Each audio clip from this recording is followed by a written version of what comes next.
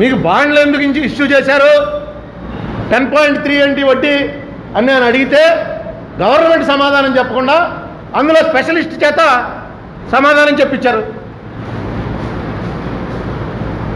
ఇదేమో ఇంజనీరింగ్కి సంబంధించిన పోలవరం అడిగితే మీ మంత్రి గారో మీరో ఇంకోడో వాడికి పని పాటు లేదండి ఖాళీ ఎంప్లాయ్ ఎంప్లాయ్మెంట్ లేని పొలిటీషియన్స్ వీళ్ళు. ఈ భారతదేశంలో జనాభా అందరూ ఎంప్లాయ్మెంట్ లేని పొలిటీషియన్సే రాజులు మేమే. మన డెమోక్రసీ కాన్సెప్టే అది మనం నియమిస్తున్నాం. వీడిని ఎమ్మెల్యేగా వీడిని ఎంపీగా వీడిని మంత్రిగా. నియమించడానికి లంచం తీసుకుంటున్నాం కాబట్టి సరైన వాళ్ళు రావట్లేదు.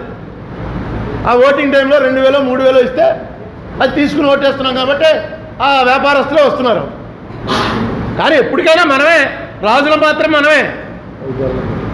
ఐదేళ్ళు మనం ఇచ్చేసాం వాళ్ళకి అధికారం కానీ ఐదేళ్ళ తర్వాత మళ్ళీ మనకు వస్తుంది రాజు మంత్రిని పెట్టుకున్నంతలో ఇక రాజు మాట్లాడకూడదని ఎక్కడా లేదు.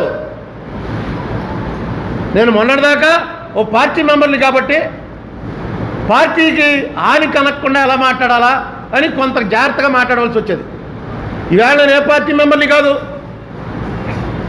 ఎవరు చేసినా తప్పుని బయట పెట్టడం నేను మాట్లాడుతుంటే జనం చూపిస్తున్నారు మీరు అందరూ వింటున్నారు కాబట్టి మాట్లాడుతున్నాను.